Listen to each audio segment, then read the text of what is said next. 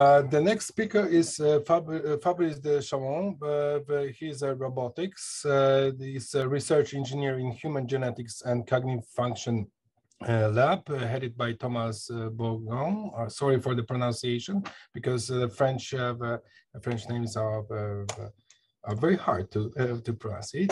Uh, in the in the uh, Institute of Pasteur Pasteur France, he, he originally working in image analyzing, machine learning, and he's uh, he developed a live mouse tracker, which is a great uh, genius system. I was I was working on this system, and it's it's it works really really nice with uh, Elodie, and uh, he's now involved in the study of ultrasonic vocalization, and he will hopefully show us how to uh, how to uh, combine the visual and the audi audible and audible elements.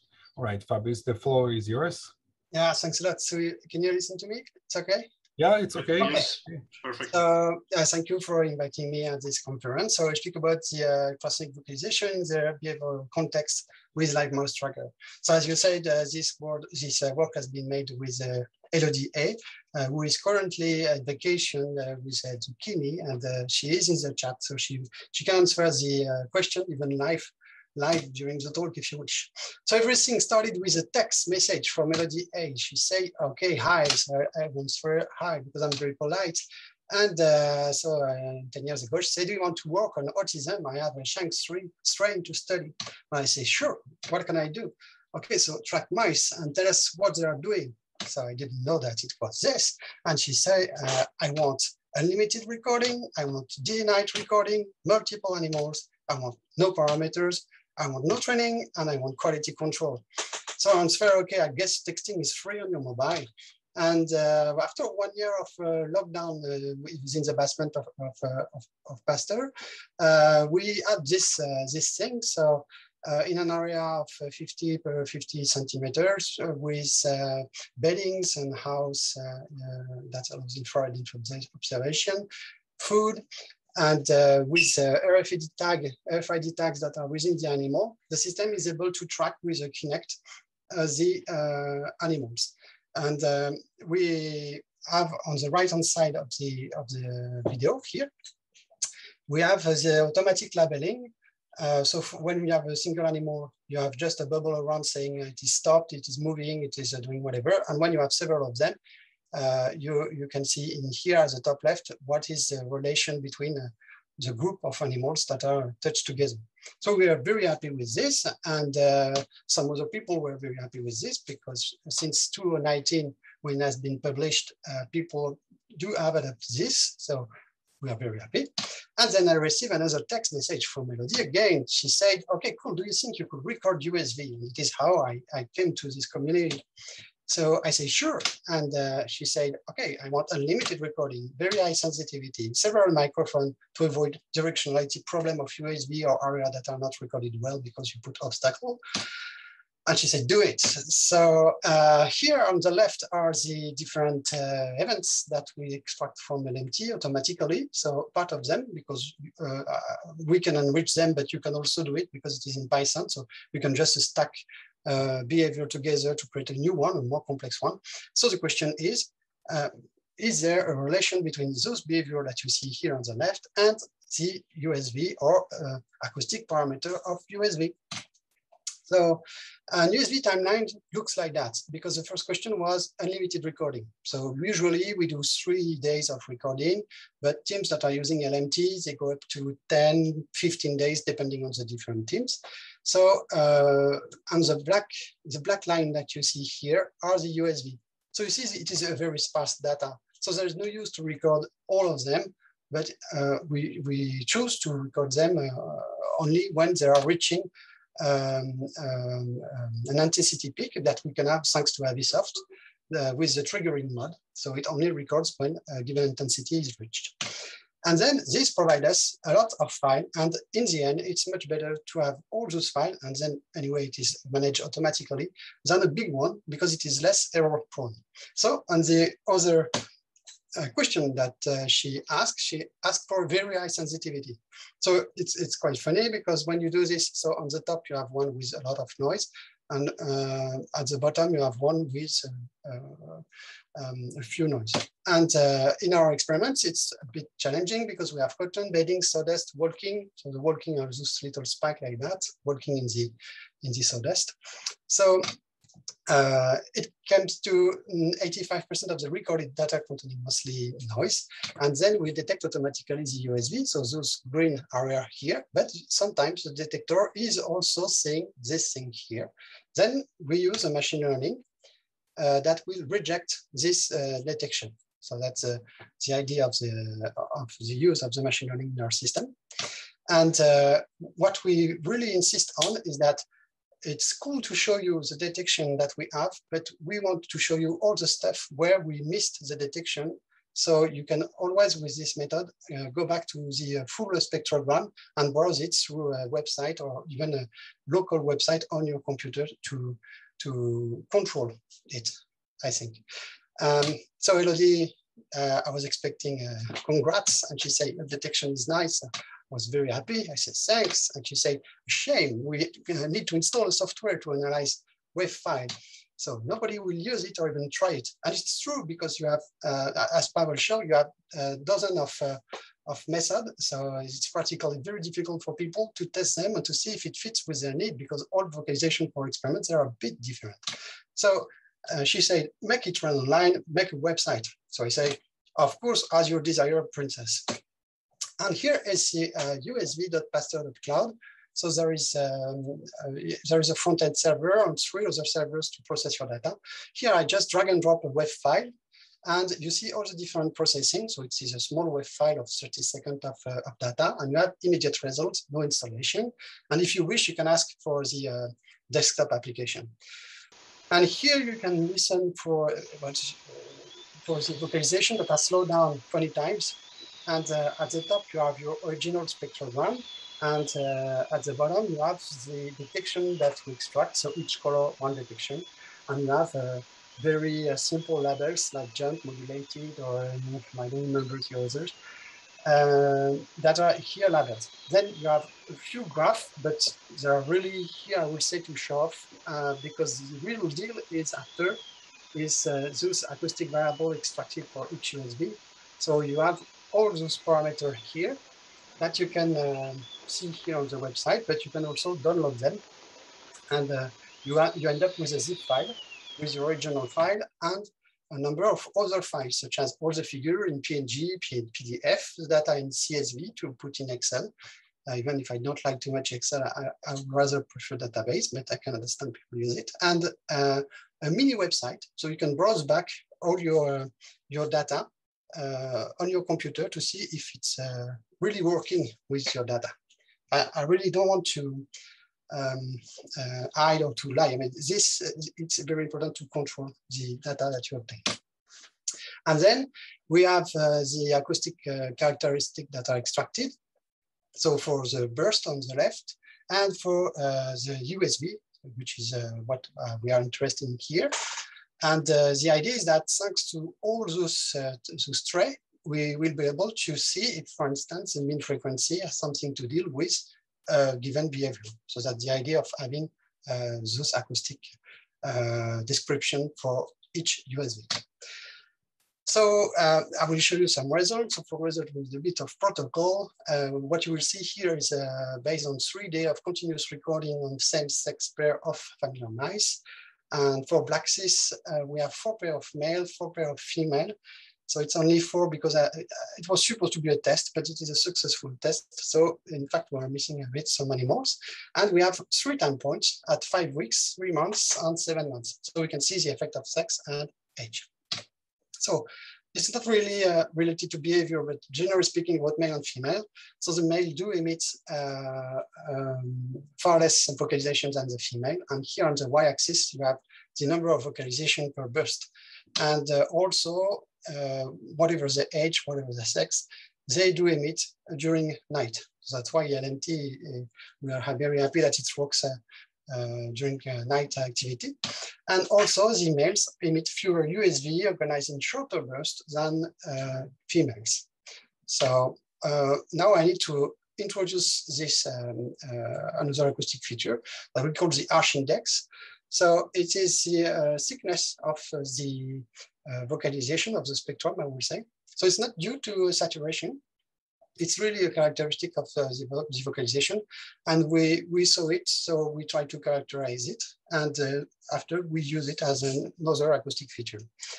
So uh, in here, you can see that female emits longer, more modulated and harsher USV compared to male. And the one figure I like is the one on the right here, where you have five weeks animals, three months and seven months. As you see at five weeks, there is no USV emitted with uh, this uh, harsh uh, type of vocalization. And then the female, but not the male. And then after you have the female here and the male. So there is a, a, shift that we can also emphasize with this last graphs. So with increasing age, uh, both males and females emit longer, harsher, more modulated, and louder USV, probably because they get big. And this occur later in males than, uh, than in females. So there is this, uh, this shift. So another text. So now I'm afraid of my phone because I don't know what's going on. Oh, this is still very general yeah, I'm play surprised, but I brought it. I say, oh, uh, now that you have USV, I want a frame perfect synchronization between USV and event. And oh, she's very right because else we can't do anything. And yeah, that's what she said. And I said, at once, Your Majesty. So here is the scheme of uh, LMT. You have this, uh, this view here. We pass through camera, LMT, database, and analysis. So we added a microphone and the Avisoft. And Avisoft is, is, is very cool because we can plug um, um, uh, specific outputs. So what we added is uh, network synchronization. So as it is on the same computer, Avisoft and LMT are running, it's uh, very quick, it's less than one millisecond of network communication. And there is the latency intern in Avisoft that I cannot really measure, but uh, our goal is to keep it below uh, one frame. We have 30 frames per second, so 33 milliseconds per frame. And actually, if we miss one frame or if we are shifted by, I don't know, 50 milliseconds, I think it's, it's fine for what we're doing. And uh, here is a first example of the uh, context of USV. So with our machine learning at the very beginning, uh, the machine learning says, uh, oh, look at all those vocalizations. They are very specific because for me, there are no noise and there are not vocalization either. So now we can look at what they do correspond to. So here is a player of a live mouse tracker. It's quite um, um, well, you don't see many details, but uh, here you see this animal here and this one, this one here, and you can stick to all the different USV. And what you see that the animal here is doing something, then turning back and um, maybe sniffing like that. And here it's the magic of Elodie. She said, okay, I know what they're doing. They are peeing. And actually, this is a vocalization that they do uh, when they when they do a specific kind of pee here in the corners or on the edge of the of the, of the cage. And we also know their localization. So there is two animals. When we have the USV, we don't know which one is emitting, but here it's specific because it is a, the P behavior, so we can see which one is doing it. So it's easy to label. You see for wild type, they are on the edges. And for uh, the Shank3 animals, we have two here that are not in the uh, in, in, the edges. So of course it's far too uh, low to say whatever to draw the conclusion.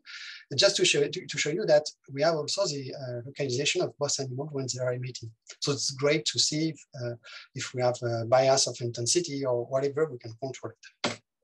So now we have synchronized USV and we have the events. So let's link all this to the first timeline.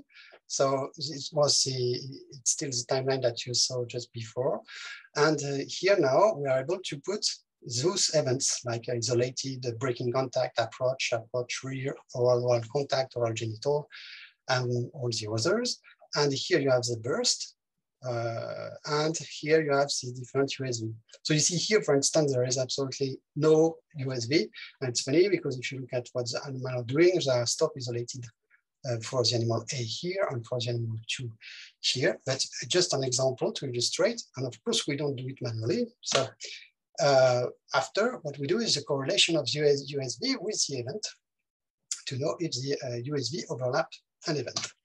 And uh, uh, here are the first result. You have the uh, males that emit USV sequence when they are idle or moving alone. And quite at the opposite, you have the females that emit USV sequence when they're in contact and during uh, approach behavior. So each time you see a, a, a, triangle or a circle here, it's one experiment. And these profiles are uh, already uh, visible since they're uh, five weeks. And here's another view of this thing, but with all the other uh, events. So you see the male. So the male are on this uh, side uh, of the left side of the figure. Each column is an animal, and you repeat this for seven, three months, and five weeks. So uh, you see that the male here, the USV are correlated with this Histopelus related here, but we have this animal here that is doing something different. So thanks to him, because he blew up our statistics. And um, here you have the female. So you have everything that is dealing with the uh, contact. Um, then we have the other way of looking at the correlation. It's event uh, uh, over USV. So here you, you have uh, for a given experiments, so all those are experiment. For some of the experiments, you have 70% of the train tree events, uh, which are accompanied with uh, USV uh, for, uh, for different females. And here you see, you can compare to others that are uh, quite good follow and um, those are not genital, but they are far behind the, the train two. So train two, it's when you have two animals that are following one another. So they are in movement and this one uh, is close or uh, stick to the uh, anogenital region of the other animal. And now, so you've seen this, and we can even get bigger, but we need before to understand this kind of matrix. So please forgive me, it is the um, difficult slide of the talk. So for, we can have a matrix like this for each acoustic criteria. So here it's duration in milliseconds but please keep it, you will see. So the events here are here. So you have the same here on the bottom. So you have, uh, you can read like single idle, and then you can get to this blue here and this train two, and it will read USV in single idle have a shorter duration than USV in train two. So if it is blue, it is significantly lower. If it is red, significantly higher. And the other thing that is funny is that, of course, this uh, gray uh, square means that there is no difference, and it is a result too. So, of course, I don't expect you to read through all this, just that here we have at five weeks, and you have a lot of different uh, parameters here, like the duration, uh, the frequency uh, TV, linearity index, number of modulation, number of jump, whatever. And uh, what is interesting in here is that you have a lot of gray square meaning that it is not yet specific to a given behavior. And then, how can I remove this thing? And then uh, you have this at three months. So you see it get complicated. And you have it afterwards at uh, uh, seven months. Let me just remove this thing at the top. Well, I don't know how to, to remove it. Okay. Um, so uh, are there context-specific acoustic features? So here we take the female at three months, and you can draw conclusion by uh, uh, using uh, different events and pulling them all together and using the different uh, acoustic features. So USV and single behavior are shorter, less modulated, and purer in social context. Here there is no difference uh, in the, this different area. So the similar USV occurs during follow and train two. And here is a box of uh, when the animals are in close contact using approach contact, nose, nose, nose, and genital side, side. And you see that it is almost gray. So there is no significant variation during this contact. And now what about the uh, Shank3? So for the, the protocol, uh, we have six pair of females observed at, uh, at three months. And uh, at the beginning, we were very surprised because there is uh, as many USV uh, as for Blackcyst. And also the uh, Shank3 emit burst with fewer but longer USV and shorter interval between USV. Uh, USV. So uh, it means that in fact the rhythm is different. rhythm between USV, rhythm between burst. Uh, also we see that the uh, um, dynamic of the uh, Black-Cis and the Shank3 is different. The one of Shank3 is wider. And also the Shank3 emits longer, more modulated, higher pitch and less arch USV compared to uh, the, the Black-Cis female. So it, it's a lot of, of, of, data to digest. You can read it, everything in the bioRxiv. And I, I can understand that you may feel like just like a catalog. And uh, so now with the, uh, the Shank3, go back to the same matrix as for the one type that I put it back again here. You see that now you have uh, blue squares that are appearing in the nose-nose events. So meaning that this nose-nose events is now a bit uh, special, as I will say. And then you have uh, the uh, shorter, flatter, higher pitch, and purer uh, USV that I emitted by Shank3 in this context as compared uh, to the other um, type of contact. So to summarize what I uh, explained, uh, for the Black-Cis mice, we have the female that use more frequently USV to regulate social interactions than male. And also what is very important is, okay, sorry, I got a text. So Elodie told me, stop the summary, enough feature, acoustic features are not enough. So I said, what are the orders? I want to classify USV by my own visually, and I want to have multiple camera all around the cage and thermal camera, of course. So I say, yes, mistress. So here is the uh, application that we developed for this. So uh, each um, box here is a separated uh, and you can select them. So here we are selecting, for instance, those ones that are uh, quite high pitch and uh, a bit weird. And uh, the idea of this application is, is, that you can really navigate into all the data of your experiment, but you don't know what is the behavior that is linked to it. So that's the idea of being blind when you label the uh, USV manually. And um, uh, the idea after is that you can compare with the other user. So here, Elodie and I, we don't agree on this one. So it's cool for learning purpose. And then you can also um, sort again to get only what you uh, just labelized to fine tune what you found. And you say, okay, this one, in fact, I don't want it, or this one, I want it. So this is uh, the, this idea, and it's possible also to share between people the result that you obtain. And then once you have done all this, you want to know what is the link between what you just selected and the behavior. So here is the uh, other part is this software where the uh, film uh, watching all the sequence, all your experiment is looping. And here you are looping over this localization. You have thermal camera, you have the LMT camera, you have uh, the Avisoft uh, witness uh, window. And now we can switch to the first localization that we just labeled. And you see the animal is doing something. So I'll let you try to find what is specific to this vocalization, this one too. And uh, so maybe, maybe they jump and this one. And you see that if I stop the player here, uh, indeed, it's not a jump, but it's cool because this detection is not really one that has wanted to label.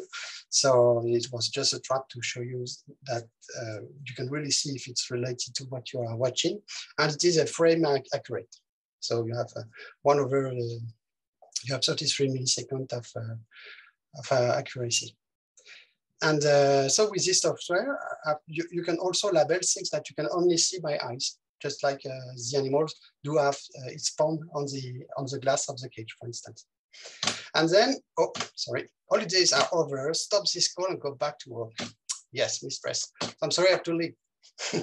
so thanks a lot for listening to this talk. And um, um, if you wish to play with all those things, even if it is not yet published, you, you can uh, use the uh, website and we can also provide you the, the apps and you can also use LMT with uh, uh, Avisoft. We'll be delighted to help you.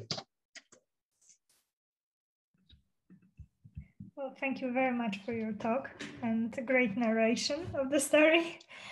Uh, there was one question uh, so far on the chat, so I'm gonna ask it, or perhaps Lucas, would you like to ask it yourself? Uh, I allow you to talk. Unmute. We see. You are unmuted. Would you like to ask it the question yourself? Yes, can you hear me? Yes. Okay, so Fabrice, the, thank you for this uh, very interesting story and, uh, and also the uh, very original style of presentation. Um, never a dull moment with Fabrice. Great. Uh, yeah. I have one, technical question. Can you determine which mouse is vocalizing when you detect an ultrasonic vocalization? No. Okay, that's, that's a straightforward answer because you're using a single Avisoft microphone, correct? Yeah, but even if I used two, three, or four, I, I would not be able to find which one is uh, is, is emitting the sound. I, I, this is not loaded with uh, triangulation, and uh, yeah, that's a limitation of the method. Yeah. Okay, clear. I just wanted to be sure because I uh, you, you presented so so many features and functions. Uh, perhaps I missed it. Okay, thanks for the answer. Bye, guys. Bye bye. Ah, it's a shame. One question and I cannot say yes. yeah, there, there, was one question, uh, I guess. However, it was pretty much the same. Uh, can you localize the USV that uh, which animal uh, is vocalizing? So I guess that's that's already answered. So we are preparing something to be able to answer this, but it will not be through uh, triangulation because I, actually I, I, tried to do uh, to do this kind of thing, but I, I um, because of the sampling rate, which is uh, 300 hertz, uh, kilohertz for, for the, those animals, um, I'm, I'm not able to provide something that is accurate. And, um, I, and I don't really know if it is yet possible to use uh, the same microphone that you are using to uh, record your animals, to use the same one at the same frequency to triangulate. I, I don't know yet if it is possible. well, I see uh, maybe a little uh, possibility of future collaboration, but that maybe later. uh, okay, Oscar uh, wanted to ask a question, so I'm gonna unmute her. If I may, if I may add, there is something is that most of the vocalization are emitted when the animals are in very close contact. And uh, also they are moving. So if you are good enough to have a triangulation when animals are still it's already great. When you do it when they are moving, super great. And when they are hiding uh, the sound of each other because one is in the uh, uh, genital of the other, super, super, super great. So there's a lot of problems to, to deal with this uh, triangulation. Okay. Oscar, would you like to ask a question? Yeah, yeah. Thank you, Faris. That was a really uh, great talk. Um, I tried uh, your uh, tool a while ago um, to analyze it automatically. Yes, I did. I just couldn't upload my data because of the sampling rate issue. Oh, yeah. Um, I just wanted to ask whether there's a way to get around that actually, um, because uh, the sampling rate for our data was like 250 kilohertz, and I think it accepts only 300. You just mm-hmm. mentioned So, yeah. Okay. So on the website, I, I added uh, something that converts the uh, sampling rate automatically uh, after you, you ask. And um, I also provide to people if they wish something in Python to convert all their data at our sampling rate. So you don't need this step when you put it online. And uh, yeah, so. So it's possible now. Yeah, it's possible. But if, well, some people, for instance, they they pick the website and they put uh, 22 kilohertz data or 44. And, and, then I convert them online and the file gets very huge because they, they provide me, uh, um, I don't know, like uh, 30 minutes of uh, vocalization, but uh, of uh, audible vocalization. It's nonsense for us at the, for our topic. And uh, and then they, they blocked my website because uh, I'm extending it to three, uh, three, 300 kilohertz, and then the file gets very big. So I added some uh, little barrier, and maybe best for you is to use also the uh, offline version of the software that I, I gave to, to, to people. We, we are waiting for it to be published to give it to everybody, but um, and you will have a you have a nice conversion. And also if you want to batch convert everything, you can do it in Python. Okay, yeah, thanks. Okay, please the last question, uh, and then we will move to uh, to the break. Okay, so I'm gonna allow uh, Rafał to talk. So please ask your question. Oh, hi, thanks. It was unexpected. I thought you'd read the question. Okay, so Fabrice, I was wondering, uh, what is the the um, sensitivity of detection of, of body turns, and uh, how is it related also uh, or divided between body and uh, head only? Does the system detect head turns, and, and what is the sensitivity? It means how many degrees of turn it will detect or or it will report report as turn. Okay, so you're, you're thinking about the Live Mouse Tracker part, of course. Yeah, yeah, yeah. Um, well, it's, it's really up to the resolution that we have. So with the Kinect, you have uh, you have not very very high um, uh, uh sensitivity, but the um, it's, it's, difficult to answer this. I don't know. I would say three four degrees of accuracy for the uh, for the orientation of the animal, maybe less. Okay. And um, uh, after the way you want to compute it, if it is from one frame to another, if you want to have a confidence because you want a, a, a window to avoid the, uh, the noise in the measurement, it's really, really up to you. But, um, but you, you, maybe you should watch uh, the validation that I, I, just showed.